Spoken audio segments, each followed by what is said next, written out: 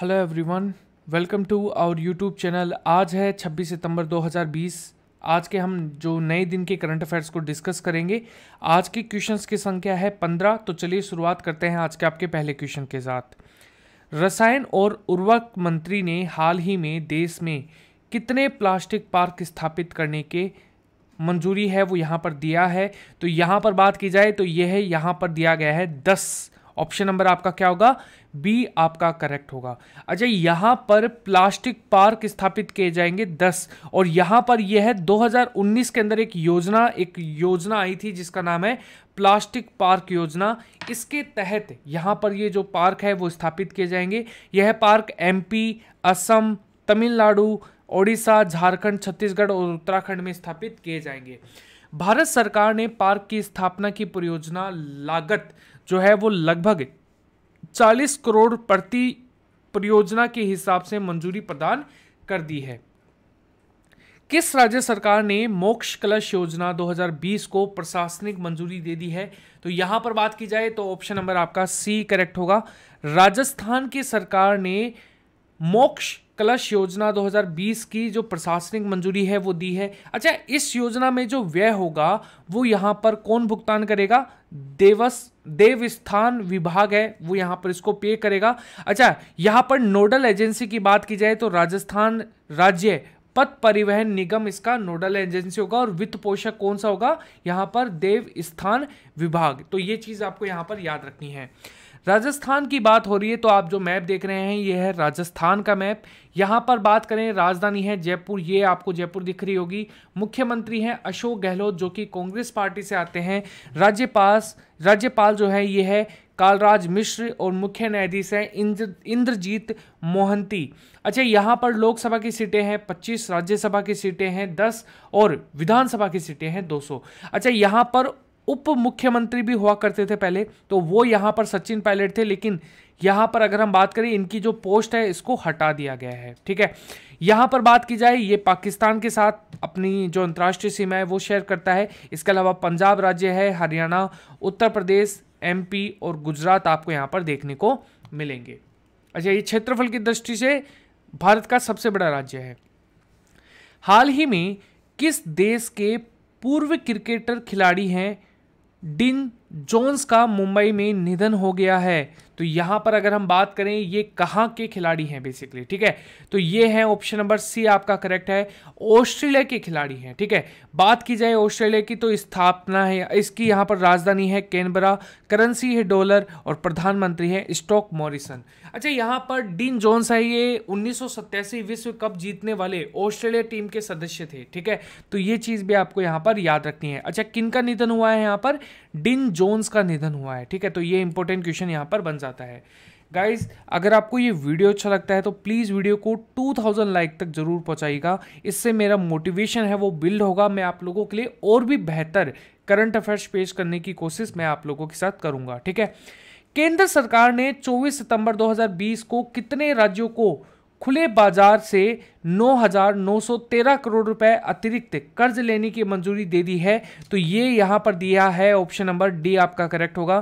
केंद्र सरकार ने 24 सितंबर 2020 को पाँच राज्यों को खुले बाज़ार से 9,913 करोड़ रुपए की अतिरिक्त कर्ज लेने की जो मंजूरी है वो यहाँ पर दे दे दी है। अच्छा ये पाँच राज्य कौन कौन से हैं? तो बात हो रही है यहाँ पर। ये है आपके आंध्र प्रदेश दूसरा तेलंगाना गोवा, कर्नाटक और इसके अलावा त्रिपुरा। ठीक है? तो ये आपको यहाँ पर राइट आंसर होगा। ठीक है? भारत ने स्वदेश में निर्मित परमाणु क्षमता वाली किस मिसाइल का सफल परीक्षण किया है?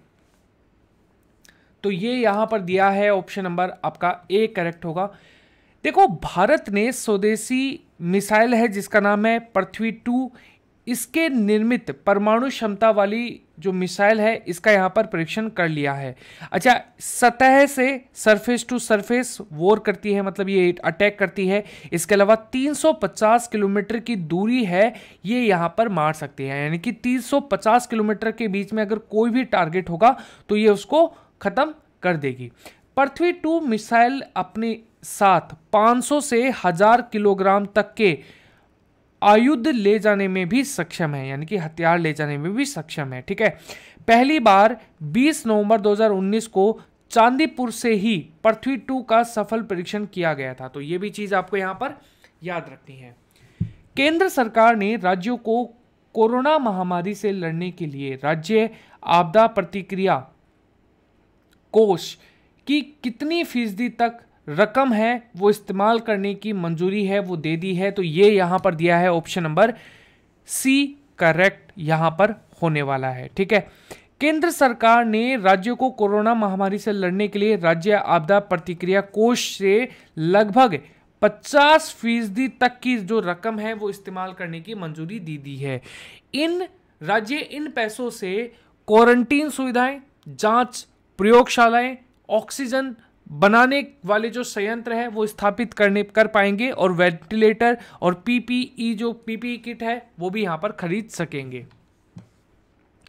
भारत ने अंत्योदय दिवस निम्नलिखित में से किस दिन मनाया है? तो ये मनाया है, ऑप्शन नंबर आपका डी करेक्ट होगा। 25 सितंबर को यहाँ पर मनाया है।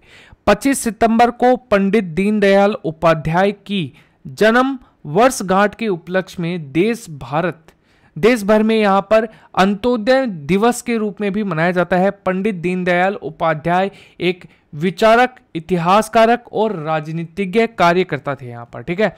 अच्छा आज मैं आपको रिपीट नहीं करूँगा, ठीक है? मैं आज ये देखना चाहता हूँ कि आज आपको कमेंट में लिखना है कि आपको ईमानदारी से लिखना। वीडियो को यहीं पर पोज कर लीजिए और ईमानदारी से लिखिए, आपको कितने दिवस याद है, ठीक है? आप पहले डेट लिख लीजिए, ठीक है, अपनी कॉपी में और फिर उसके बाद आप एक एक डेट को यहाँ पर मेरे साथ शेयर कीजिए। कमेंट सेक्शन में मैं आज देखना चाहता हूँ कि आपको कितनी चीज़ें याद हुई हैं, ठीक है?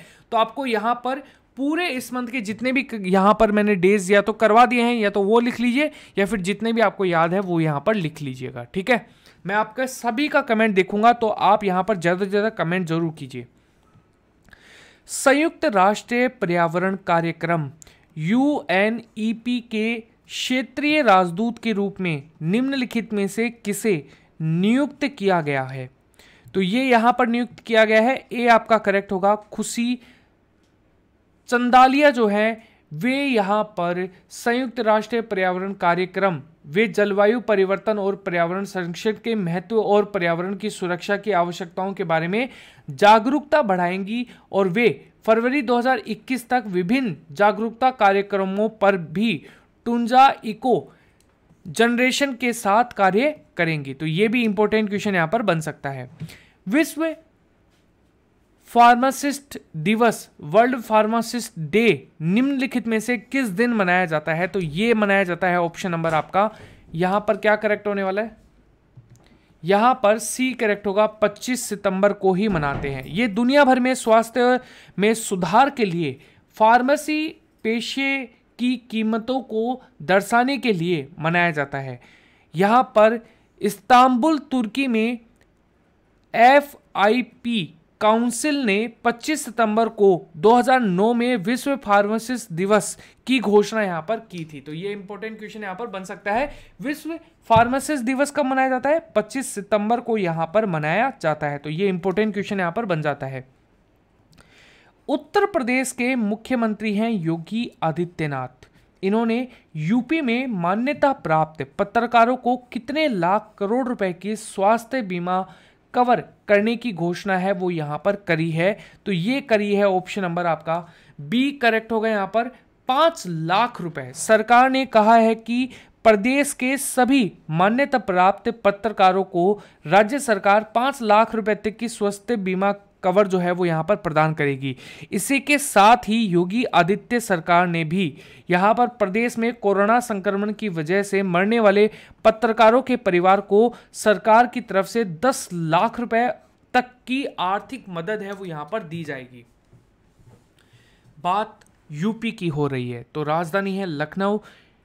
सीएम है योगी आदित्यनाथ गवर्नर है आनंदीबेन पटेल। चलिए, एक क्वेश्चन आप लोगों के लिए है। आनंदीबेन को, आनंदीबेन पटेल को किस राज्य का अतिरिक्त भार नियुक्त किया गया है गवर्नर के रूप में? ठीक है, मुख्य न्यायाधीश है गोविंद माथुर। राजकीय पशु है बारह सिंगा, राजकीय पक्षी है यहाँ पर। सारस राजकीय फूल है पलाश और राजकीय वृक्ष है अशोक। ये जो मैप आप देख रहे हैं, ये है यूपी का मैप। अच्छा यहाँ पर आप पूछोगे, सर, लखनऊ? तो लखनऊ तो ये रहा। इसके अलावा स्टेट कौन कौन से? देखो, पहला है हरियाणा, दूसरा है उत्तराखंड, तीसरा यहाँ पर ये कंट्री है जिसका नाम है नेपाल। बिहार यहाँ पर देखने को मिलेगा, यहाँ पर आपको झारखंड, यहाँ पर ये एमपी और यहाँ पर ये राजस्थान देखने को मिलेगा। भारत की पहली कोस्ट गार्ड अकादमी कहाँ पर स्थापित की जाएगी? तो ये यहाँ पर किया जाएगा। ऑप्शन नंबर ए आपका यहाँ पर करेक्ट हो गया यहाँ पर, ठीक है? मैंगलुरु में स्थापित किया जाएगा, ठीक है? भारत की पहली तटरक्षक अकादमी मैंगलुरु में स्थापित की जाएगी, यानी कि ऑप्शन नंबर ए आपका करेक्ट है।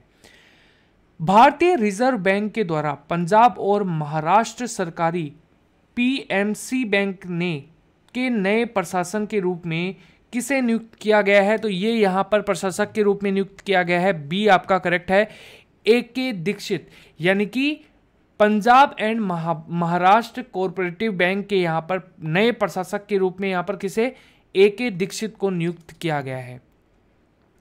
शीर्ष स्तर के नौकरशाही फेरबदल के तहत सांस्कृतिक, संस्कृति सचिव के रूप में किसे नियुक्त किया गया है? तो ये किया गया है ऑप्शन नंबर ए आपका यहाँ पर करेक्ट होगा। राघवेंद्र सिंह को यहाँ पर पूर्व नौकरशाही राजवेंद्र सिंह को अनंत कुमार के स्थान पर सांस्कृतिक सचिव के रूप में नियुक्त किया गया है, जो एक उच्च स्तर की नौकरशाही फेरबदल के हिस्से के रूप में राष्ट्रीय पिछड़ा वर्ग आयोग के सचिव के रूप में भी स्थानांतरित हो गई है। अगला क्वेश्चन, इस्माइल टोरोमा को निम्नलिखित में से किसके अध्यक्ष के रूप में चुना गया है? तो ये चुना गया है ऑप्शन नंबर आपका डी यहाँ पर करेक्ट होगा, ठीक है? यहाँ पर ये इंपॉर्टेंट क्वेश्चन यहाँ पर बन सकता है। अच्छा बुंगेन, बुगेन विली, ठीक है? बुंगेन विली, ये है बुगेन विले। अच्छा पूर्व विद्रोही सैन्य कमांडर इस्माइल तोरोमा को साउथ पैसिफिक में पापो, पापोआ न्यू गिनी के स्वायत्त हिस्से। जो पापोआ गिनी जो है, यहाँ पर न्यू गिनी है, इसका एक स्वायत्त, यानी कि इसका एक पार्ट है, ठीक है, जिसको हम किस नाम से बुलाते हैं यहाँ पर? बुगेन विले, ठीक है, इसके अध्यक्ष के रूप में चुन लिया गया है। ऑप्शन नंबर डी आपका करेक्ट होगा। किसका कार्यकाल सरकार द्वारा ऋणग्रस्त I and, I L and F S समूह के गैर कार्यकारी अध्यक्ष के रूप में एक वर्ष तक बढ़ाया गया है। तो ये बढ़ाया गया है option number B Uday Kotak को यहाँ पर जो है वो आपका यहाँ पर राइट आंसर होगा। अच्छा सरकार ने उदय कोटक के कार्यकाल को कर्ज से प्रभावित I L and F S समूह के गैर कार्यकारी अध्यक्ष के रूप में एक साल के लिए बढ़ाकर अक्टूबर 2020 के तीसरा दिन से लागू कर दिया जाएगा। ठीक है? आज का जो आपका क्वेश्चन है, वो यहाँ पर क्या है? H D F C life ने किस बैंक के साथ भागीदारी की है ताकि वह अपनी नीतियों को बैंकों के ग्राहकों के बीच को यहाँ पर क्या कर सके? बेच सके। अगर आप हमारे चैनल पर नए हैं तो चैनल को सब्सक्राइब करना बिल्कुल भी मत भूलिएगा। आज का जो लाइक का टारगेट है यहाँ पर, वो है 2000 का। तो प्लीज़ गाइज़ इस लाइक के टारगेट को मुझे अचीव करने में हेल्प करें। वीडियो को शेयर ज़रूर कीजिए। और अगर आपने बेल आइकन को नहीं दबाया है तो बेल आइकन भी ज़रूर दबाए।